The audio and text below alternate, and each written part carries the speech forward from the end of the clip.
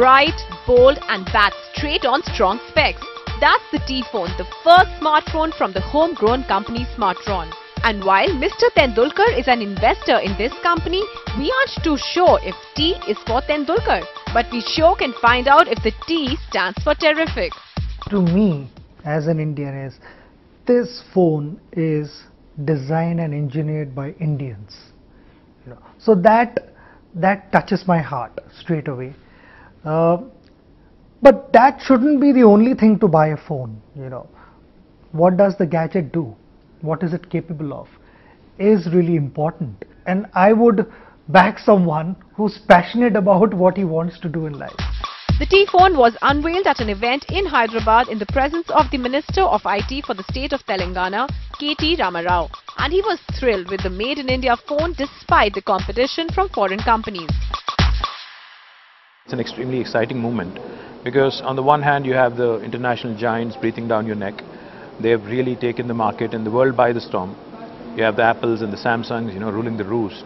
And then you have these uh, Indian companies which are trying to make their mark which are trying to make their presence felt uh, in the world. And most of them are coming out with their own innovative designs and they look at, best thing about them is, they look at Indian market in itself as a huge potential. The minute you look at the phone, it screams bold yet classy. T-Phone's dual tone color design is a refreshing change from the usual single color phones flooding the market. Weighing 149 grams, the company claims that this is the lightest smartphone in the category. The metal body phone comes with oleophobic coating to prevent any smudges on it. The company believes that this one factor will make them stand out from the rest and we agree on this one.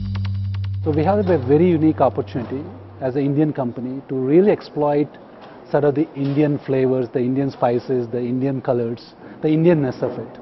I think Indian design has so much appeal worldwide. You know, today if you go to US or Europe, they have tremendous appreciation for our silk, our spices, our architecture. You know, Western architecture is pretty plain and uh, boxy thing, you know, either you have skyscrapers, rectangular, square. With a 5.5-inch Full HD display, the screen is bright, clear and we faced no issue in viewing angles. The T-Phone runs on the latest Android 6.0 Marshmallow and is powered by an octa-core processor and 4GB RAM. These top-notch specs make sure of no lags on the phone. The performance on the phone is uncompromised. On the OS front, the customized Tron X platform comes bundled in the phone. It ensures seamless experience across all Smartron devices, irrespective of the underlying OS. Under this app, T-Store connects you to Smartron's online store, T-Cloud.